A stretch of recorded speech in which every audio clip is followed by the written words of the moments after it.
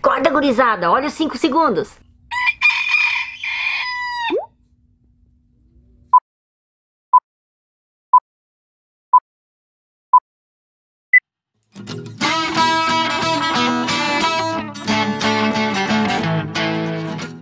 Daí, quero convidar vocês, eu e o Calu, né, Calu? Sim, estamos aí de novo. Queremos convidar vocês para ir de novo nesse vlog com nós, durante tentar passar o dia com nós pelas estradas, né, Calu? Isso aí. Né, Calu? Isso aí. Mas assim, ó, tem que interagir, tem que, tem que entrar na, nessa vibe aí, assim, ó. Então eu já digo pra vocês, levanta aí do sofá, da cadeira, da onde você estiver, vai lá na geladeira, me, abre o congelador, mete a cara dentro até que o nariz fica vermelho igual o nosso, aí pega um saco de gelo, bota uma parte dentro de uma bacia, bota os pés dentro até que os pés não, não se movimentem mais, e as mãos do mesmo jeito, ó. Bota também as mãos dentro de uma bacia de gelo para que elas fiquem igual as minhas, assim, ó, daqui pra cá branquinha, daqui pra cá vermelho de frio. Só para entrar no clima, É, né? que não consiga mais nem, nem dobrar, só pra entrar no clima. Assim o Calu tá também. Os que não são do sul, né? Porque aqui no sul estão tudo com os pés gelados, tudo gelado, tá tudo igual. Mas para quem não é do sul, Faz isso. faz isso só para acompanhar, não é? Para ver como é que é. Aham, Daí imagine que estão lá na Noruega e se embora junto com nós hoje. São o quê? Sete, oito e meia, oito, né? Seis Oito. e pouco a gente levantou, tomamos nosso banho, café, arrumamos as coisas aqui dentro. E agora é oito, Oito horas. 8 horas, o Cadu que tá cuidando mais do horário. Simbora pra estrada então, pra trabalhar e também tentar se divertir um pouquinho junto com nós. Vamos ver o que, que a gente pode trazer pra vocês hoje. Aqui a gente tá chegando no pedágio de Encantado, 5 e 20 O asfalto aqui até aqui dá pra dizer que tá bom, não tá como devia estar. Mas eles estão fazendo concertos bem aqui pertinho da praça de pedágio. Mas antes, bem antes, não estava muito bom, tinha bastante buraco. Mas a gente tem que mostrar o que, o que é bom e o que eles estão fazendo. Olha, aqui já faz. Passamos a um quilômetro mais ou menos do da praça de pedágio e já tá bem ruim o asfalto. Bem mastigado, bem feio. Bem pertinho da cidade de Encantado, aonde está sendo feito, construído o Cristo Redentor, né? Não, Cristo Protetor, perdão. Mas o asfalto não tá bom. O concessionário tem que se puxar um pouco mais. Olha, aqui a gente tá saindo da, de Encantado, indo em direção a Roca Salles. É bem bonito o lugar aqui. E a gente vai passar por cima da ponte do rio Taquari, né, Calu? Né, Calu?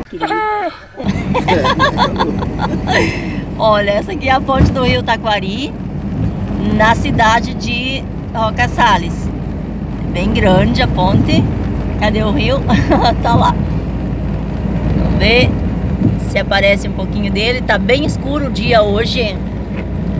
Aparecendo um pouquinho. Aqui ele tem até umas ilhas no meio. Tá escuro o dia hoje porque ah, puro nevoeiro, não tá se a, a, gente não tá enxergando nenhuma montanha, né? Nada. Muito nevoeiro e um chuvisqueirinho assim de leve também.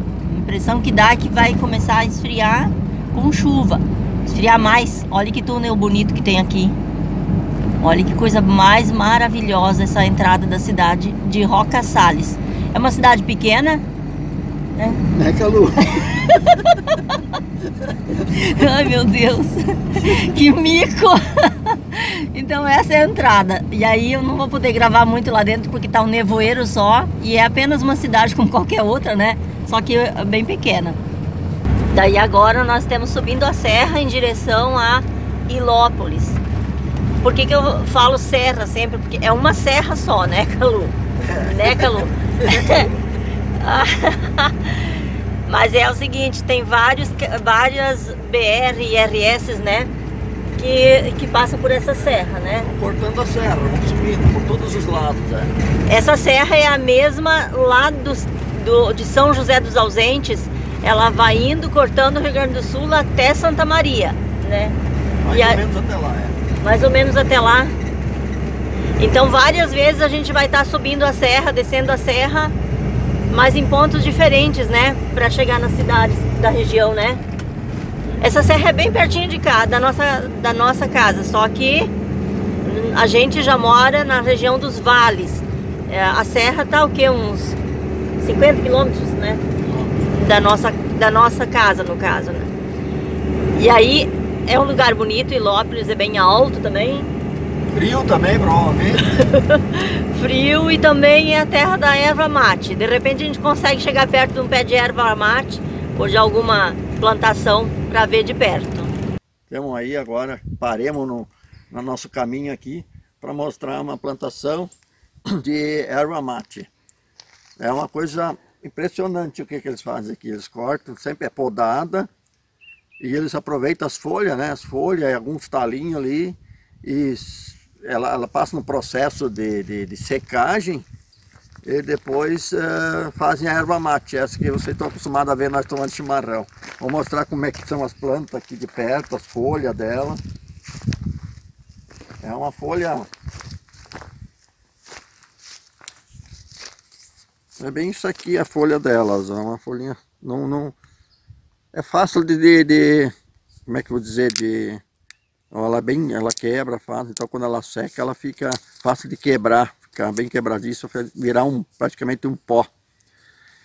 E, existe dois tipos de erva, tem umas ervas que eles plantam aqui, que nem essas lavouras de erva assim, e existe a erva nativa, quando você compra às vezes um chimarrão, e tem a erva nativa escrita em cima.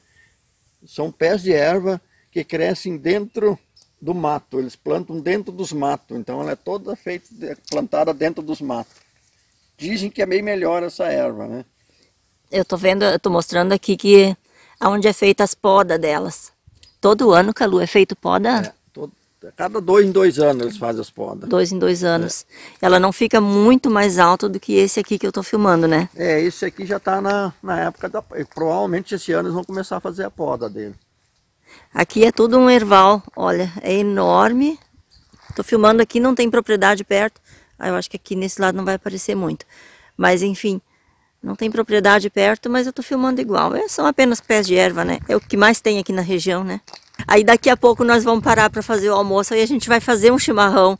Mas a gente estava querendo há muito tempo mostrar um pé de erva ela é, ela tem propriedades medicinais, né? Também, tem muitas propriedades medicinais também. Dá para fazer bolo, dá para fazer suco, dá para botar ela na culinária de várias formas, né? É, hoje ela está sendo muito bem aproveitada, não é mais só para o chimarrão nosso. Ela está sendo aproveitada muito também para para essas coisas assim, bolos, sucos, uh, chás, chamate que eles chamam, o chamate é praticamente feito com essa erva aí, né? Uhum. Às vezes você acha no mercado um pacotinho de chamate, é isso aí daí.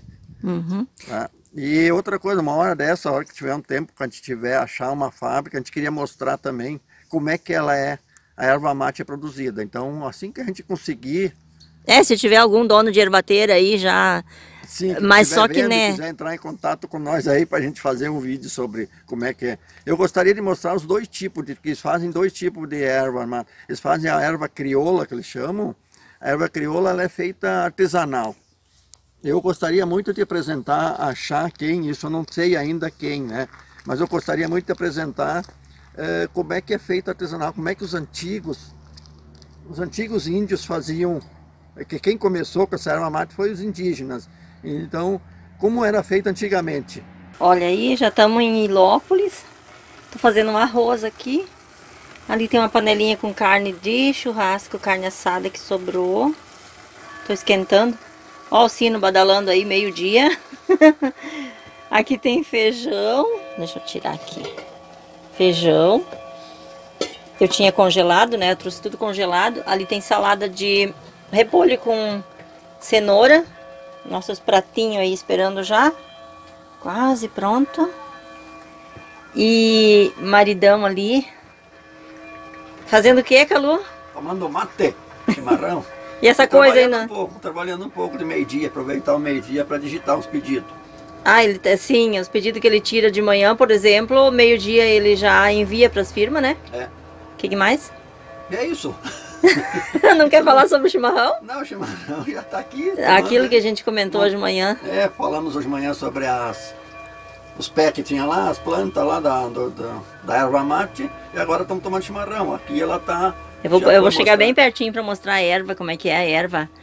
triturada. Os galhos são esses pedacinhos É, branquinho, mas é né? galinhos finos que eles botam junto, não é muito grosso, né? Só Bem fininhos, né? É, só uns pontinhos que vai Ai, junto. peraí, tu tá tirando. Aqui assim, ó. Isso. E aí essa ervinha, esse pozinho verde aqui, são as folhas trituradas, né? Elas são desidratadas e depois trituradas, né? isso.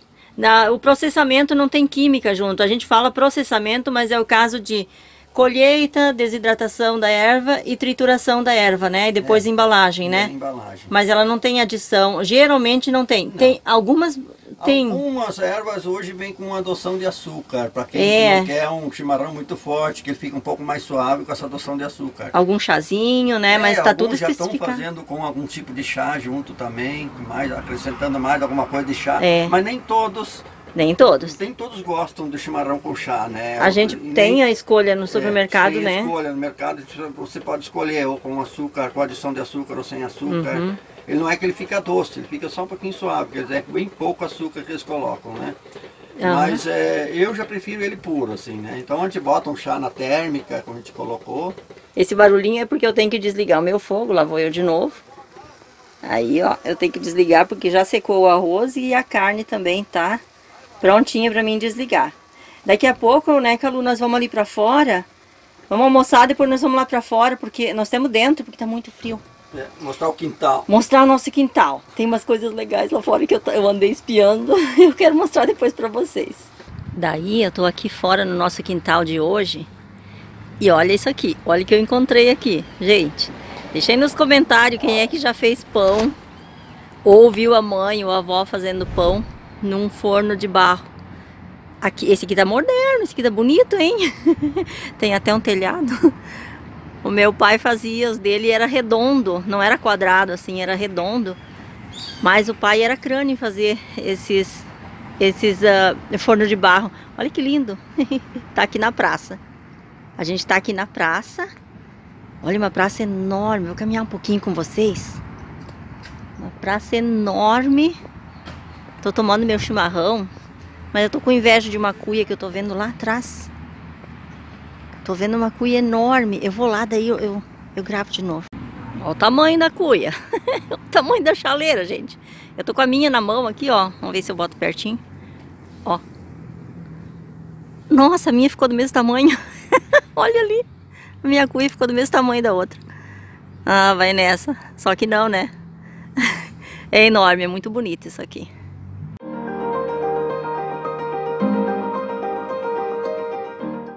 Então, onde nós estamos agora? Estão indo de arvorezinha para soledade. E aí já mudou tudo. Da, das... Agora é mais campo. Agora já estão transformando tudo em lavoura, mas era só campo antes. A gente saiu da serra, dos morros. E estamos na região então da, da campanha, tipo uma campanha, né? É. Lagos, fazendas de cavalo, gado. Ali tem ovelha. Olha, vamos chegar bem pertinho agora. São ovelhas.